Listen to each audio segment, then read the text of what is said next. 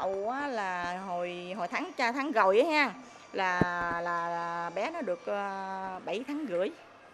7 tháng rưỡi cái tự nhiên cái cô thấy nó cái đầu lưỡi nó có hơi đỏ đỏ đó. Cái cô qua đây qua đây cái um, bắt đầu qua bữa sau trời ơi cái giò nó chứ nó ra đường con bơm á nó quá chừng luôn. Cái đầu cô đâu biết đâu cái cô mới qua mấy bữa sau cô hỏi bác sĩ cô hỏi chứ bơm em nó bị gì á? Cái bác sĩ nói nó ra đường miệng á nó không có ra mà nó ra đường, đường bơm em vậy đó. Rồi cái sao cho uống thuốc cái sức thuốc cái từ từ cái nó hết. Hết cái đâu được 7 ngày cái về về cái sao giờ đúng tháng nó quay trở lại nữa.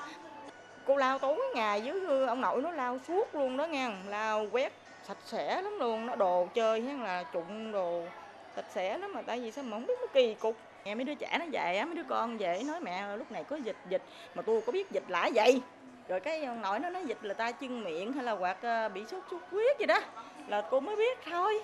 Cái đầu em em gọi gọi vô là gì mà lỡ miệng.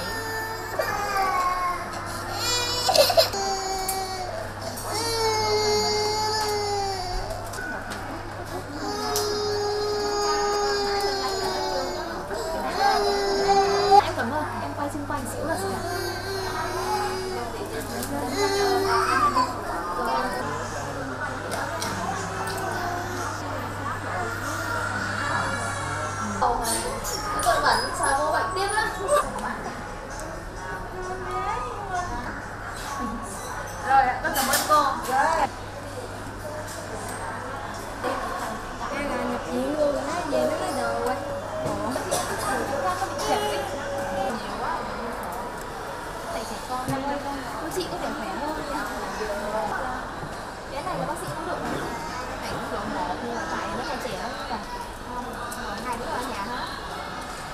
mình là ba bé hả?